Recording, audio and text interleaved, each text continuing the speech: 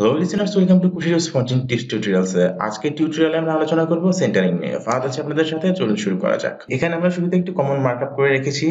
যেখানে আমরা একটি সেকশন নিয়েছি এবং তার একটি নির্দিষ্ট হাইট উইথ দিয়েছি, আর তার ভেতরে আমরা একটি করে ডিভ নিয়েছি, যেটারও নির্দিষ্ট হাইট উইথ দেওয়া আছে।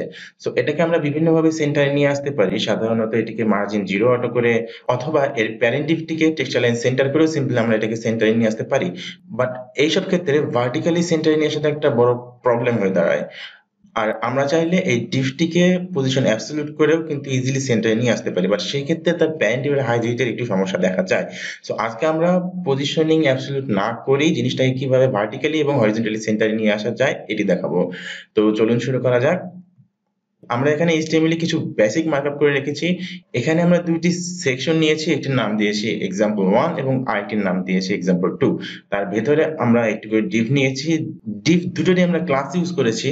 আই মিন সেন্টার আর সিএসএস সেকশনের আমরা এখানে একটি বেসিক স্টাইল করেছি এবং আই মিন সেন্টার নামে আমরা যে ডিপটি নিয়েছিলাম তার একটি বেসিক স্টাইল আমরা এখানে করে রেখেছি। তো আমরা যেটা করব শুরুতে আমাদের এক্সাম্পল ওয়ানের আই মিন সেন্টার নামে যে ডিপটি আছে সেটিকে আমরা সেন্টারে নিয়ে আসব ভার্টিক্যালি এবং হরিজন্টালি তো চলুন শুরু করা যাক I mean centre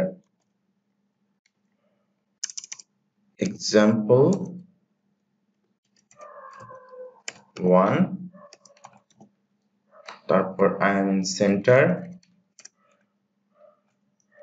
এটাকে আমাদের সেন্টারে নিয়ে আসতে হলে যেটা করতে হবে, আমরা এটার শুরুতে মার্জিন লেফট ফিফটি পার্সেন্ট দিয়ে নিব। তারপর আমরা যেটা করব ট্রান্সফর্ম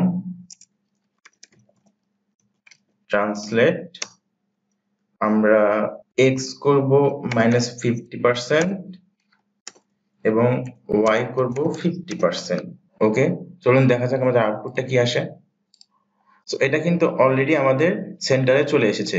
আমরা যদি এটাকে ইন্সপেক্ট এলিমেন্ট করি, এখানে যদি আমরা ট্রান্সফর্ম ট্রান্সলেটর উপর হোভার করি, তাহলে আমরা বুঝতে পারব যে আমাদের এলিমেন্টটা কোথায় ছিল এবং কোথায় এসেছে। এখানে আমরা মার্জিন লেফট ফিফটি পার্সেন্ট করার পর এলিমেন্টটাকে একটা জায়গায় নিয়ে এসেছিলাম। তারপর transform translate X fifty percent করে এটিকে সেন্টার আনা হয়েছে এবং টপ ফিফটি পার্সেন্ট করে এটিকে ভার্টিক্যালি সেন্টারে আনা হয়েছে। তো চলুন আমরা দ্বিতীয় এক্সাম্পলটিও দেখে নিই। আমরা এখন করব example two display flex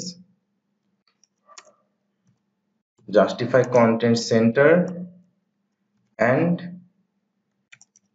align items center okay